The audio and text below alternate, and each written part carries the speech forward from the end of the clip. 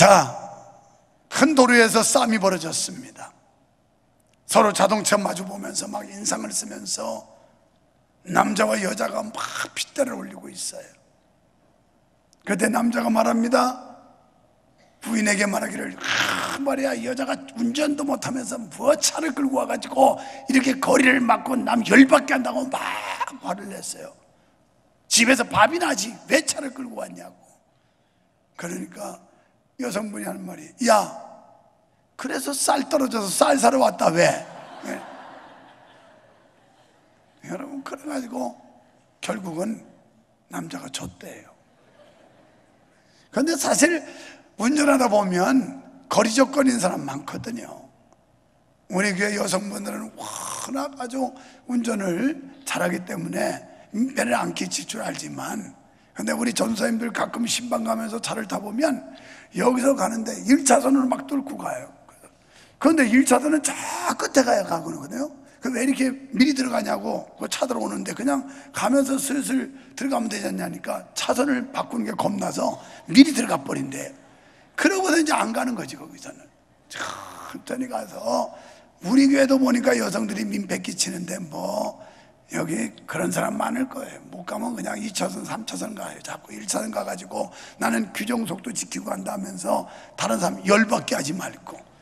그래야 또 뭐 열내면 그래 쌀 떨어져서 쌀 사러 간다 왜 밥하려고? 뭐 이런 이런다든지.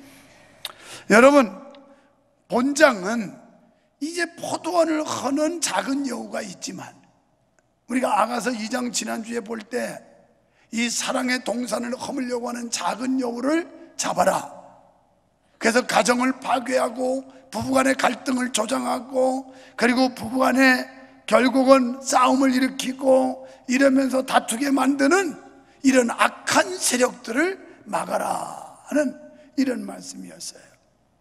그래서 결국은 이런 악한 영들 이런 악하고 더러운 영들이 방해를 해도 사랑의 열도가 식지 않고 점점 뜨거워져서 결혼까지 꼴이 나는 이런 장면이 오늘 3장의 내용입니다.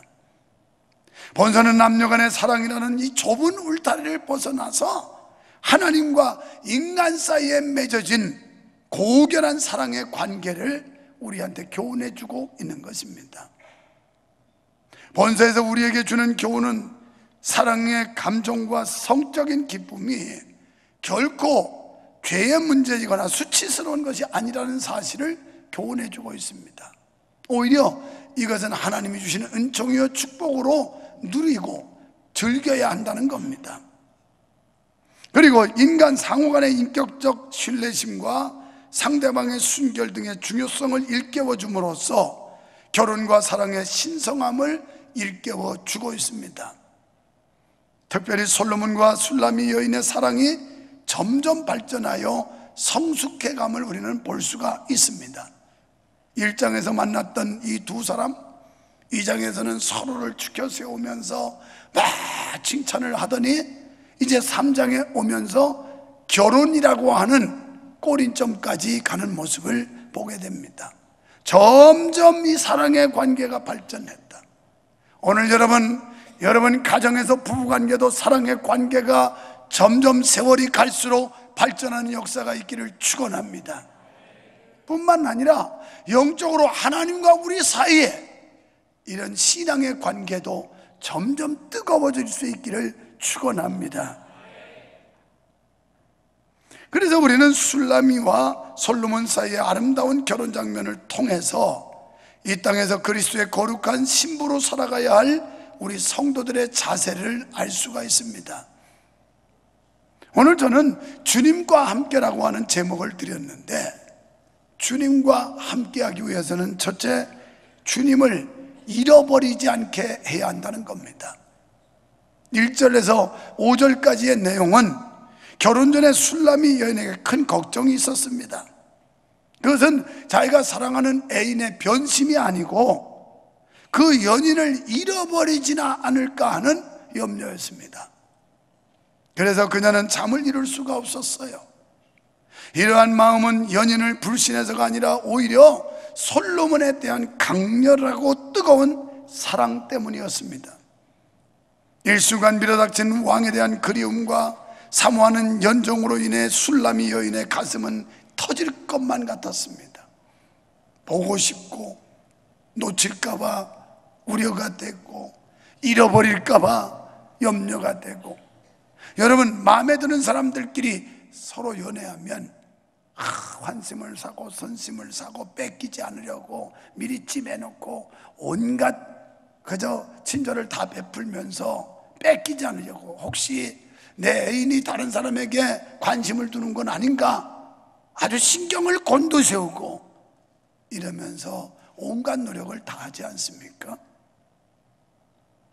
내가 이부에 온 자기 남편 이복기 집사님한테 그랬어요. 그대는 유지현 집사님한테 프로포즈를 하고 결혼해달라고 그렇게 열심히 쫓아다녔다면서 그랬더니 그랬다고 그러더라고. 그래서 내가 참 잘했다고. 부인 정말 잘 얻었다고. 뭐 인물도 저 정도면 미스 코리아들이 와서 전부 기절하고 도망갈 만큼 빼어나지. 언제나 밝고 명랑해서 살랑살랑 웃으면서 성품도 좋지. 게다가 또 믿음은 얼마나 좋냐면 시집을 가서 아기를 둘 낳는데 시아버님이 아기 하나만 더 놔주면 나도 교회 가겠다 그래가지고 그래서 아기를 하나 더 낳아버린 거예요. 그래서 세 아이를 낳는데 진짜 그 약속을 지켜서 시부모님들이 교회를 나가는 거예요. 안 되면 애라도 나서 시어머니, 시아버지 감동시켜가지고 교회 나가게 해요. 그런데 이복기 집사가 그 자리에 앉아가지고 시인하더라고. 그렇다고. 지금 이 술람이 여인은 솔로몬이 자기를 곁을 떠나갈까봐 또는 솔로몬을 잃어버릴까봐 안타까워하는 이런 심정을 피력하고 있어요. 이런 왕을 향한 애끓는 그리움을 안고 잠든 술람이 여인은 꿈속에서 왕을 찾아 헤매는 꿈을 꾸게 됩니다. 사실 사랑에 빠진 연인들은 이 같은 꿈을 많이 꾸지 않겠습니까? 지금은 아이들이 지긋해서 별로 관심이 없겠지만 한참 연애할 때는 그냥 눈만 감아도 아른아른거리고 꿈만 꿔도 나타나고 막 그러지 않았어요? 우리 청년들 보니까 그렇더라고요. 어떻게 커플들이 많은지. 어제도 카페 나가봤더니 맞은편에는 커플이고 이쪽에는 혼자 앉아서 너도 왜 여친 있는데 어째 혼자 앉았냐 그랬더니 뭐 사정이 있어서 혼자 나와 있대요. 그리고 다른 자매가 있어요. 여기는 네 친구가 아니잖아. 그런데 맞은편에 이, 이 커플들이 있는데 어째 외롭게 있느냐고 제가 조크를 했어요. 그러면서 누구는 누구랑 사귀고 있고 누구는 누구랑 사귀고 있고 누구는 누구랑 사귀고 그랬더니 목사님 어떻게 아세요? 그래서 눈치만 보고 뒷모습만 봐도 안다. 누가 친한지. 좋은 일이에요. 교회에서 건강한 교제. 이것은 건강한 이성 교제는 얼마든지 장려해야 되고.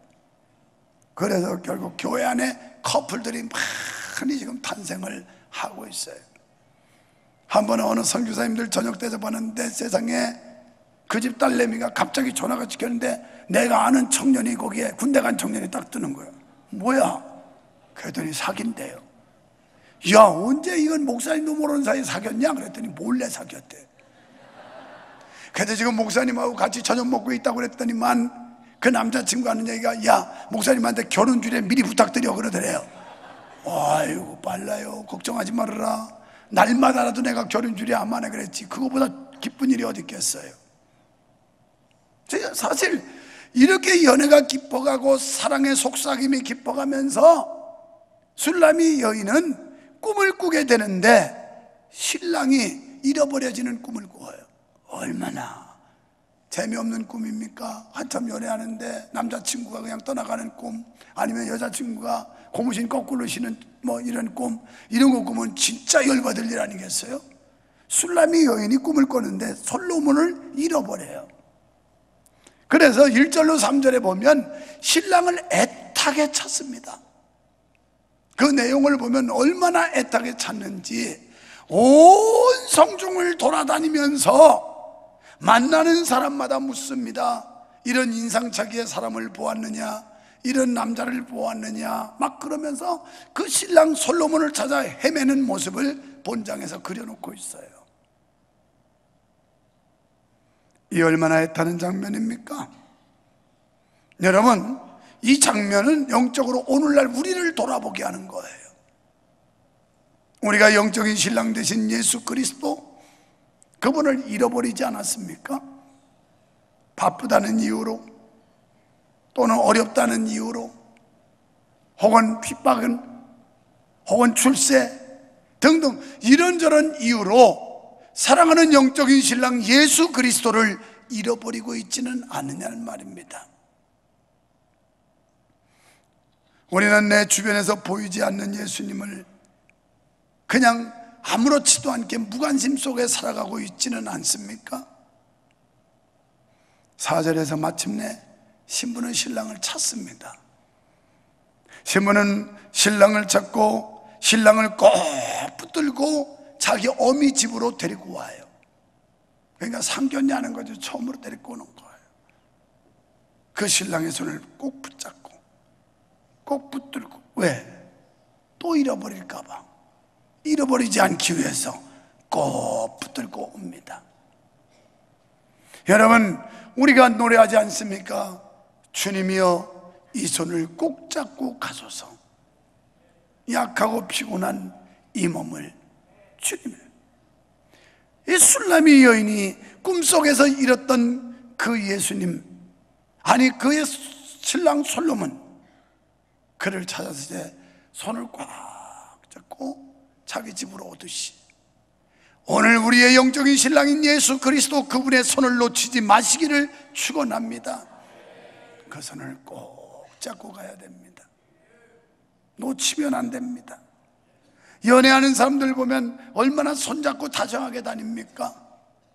오늘 우리가 이렇게 나와서 예수 그리스도를 만나고 예수 그리스도께 영광을 돌리고 예수 그리스도를 찬양하는 이 자리가 주님의 손을 꼭 잡고 가는 자리가 되기를 주님의 이름으로 축원합니다.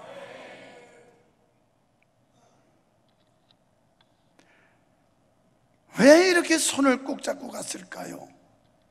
혹시라도 신랑을 잃어버릴까 해서. 여러분 이처럼 사랑은 함께 있고 싶은 거예요. 저와 여러분이 예수님을 사랑하면 이곳에 있고 싶은 거예요. 사랑하는 사람은 보고 싶은 거예요. 그리고 사랑하는 사람과는 대화하고 싶은 거예요. 우리가 영적으로 예수 그리스도, 우리의 신랑 되신 예수님을 사랑한다면 그분을 만나고 싶어야 돼요. 데이트 시간, 여간에서 늦지 않으려고 애쓰죠. 약속 장소에 약속 시간을 늦지 않으려고 열심히 노력하지 않습니까? 인간적 사랑에도. 우리가 영적인 면에서 예수 그리스도를 만나고 그분과 교제하고 연애하는 영적 교류, 이 아름다운 관계를 유지하는 우리들. 우리가 주님을 흠모하고 사랑하며 그리워하는 마음이 우리 속에서 끌어오르라. 그럴 때 주님을 사랑하게 될 줄 믿습니다. 오늘날 우리는 한 번 찾은 신랑 예수를 꼭 붙잡고 있나요? 그분을 항상 내 곁에 두고 계신가요?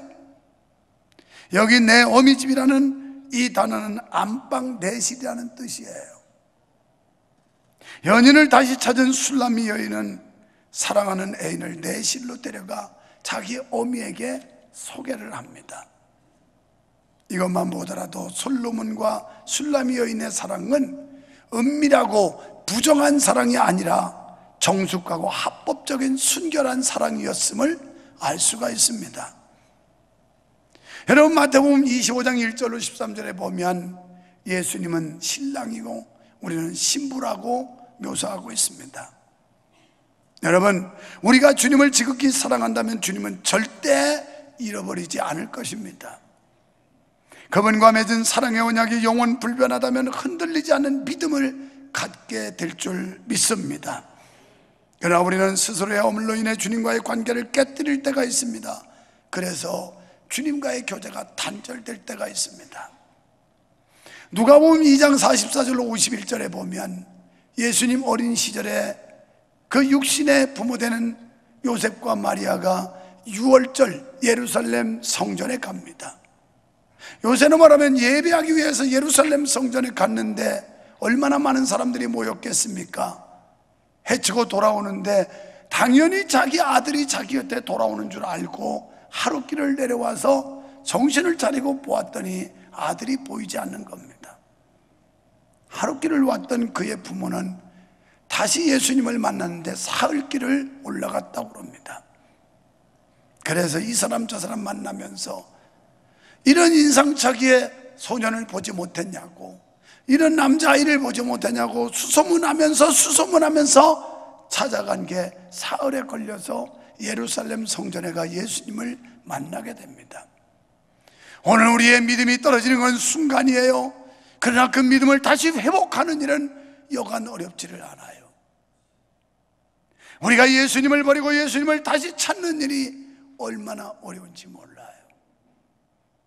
오늘 2부 예배 마치고도 우리 위에 최성일 장로님 통해서 그 인도받은 한 세 가족이 내가 진작에 믿었어야 되는데 나도 믿음이 빨리 좀 자랐으면 좋겠다고 그래서 11조도 하고 정말 온전히 하나님을 섬겼으면 좋겠다고 이런 안타까운 마음을 그 앞에서 표현하면서 나한테 생강차 한 잔 사주더라고요.